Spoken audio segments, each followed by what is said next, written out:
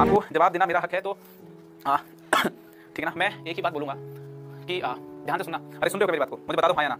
अरे, सुन रहे हो मेरी बात को? अरे अरे, मेरी बात सुन रहे हो तो मैं बोलूँ तो यार। मेरी बात अगर आप लोग सुन रहे हो तो मैं बोलूँ यार। मेरी बात अगर आप लोग सुन रहे हो तो मैं बोलूँ यार। यस नो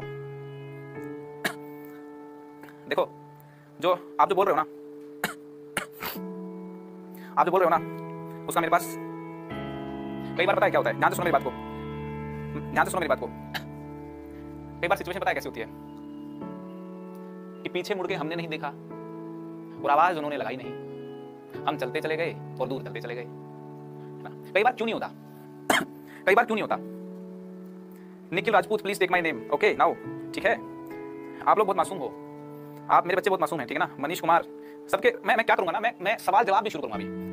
अभी जल्दी मैं सवाल जवाब सेशन भी शुरू करूँगा। जो सवाल है ना आप लोगों के आप ये मत सोचना कमेंट करके आपने छोड़ दिया सारी चीज़ें पढ़ूँगा और और सबके जवाब में दूँगा ठीक है? हाँ, तो मैं क्या बोल रहा हूँ कि है ना? कई बार क्यों नहीं होता सब कुछ ठीक है ना? ये मत समझना कि क्यों हो गया मतलब ठीक है हर हर क्यों का आंसर नहीं होता। कई बार ऐसा होता है कि हमने पलट के देखा नहीं और उन्होंने आवाज़ दी नहीं।